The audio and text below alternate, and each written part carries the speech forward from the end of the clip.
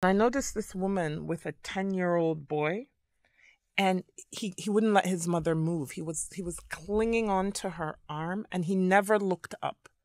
He never looked up. His eyes were down and he never blinked.